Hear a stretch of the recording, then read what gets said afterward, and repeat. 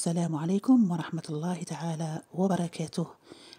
في مبادرة طيبة قام بها سكان ولاية المسيلة وبمساعدة من مختلف الولايات الجزائرية المجاورة.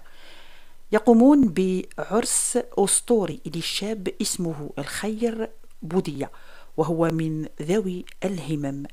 كان حلمه أن يكون عرسه جميل فقاموا بجابر خاطره.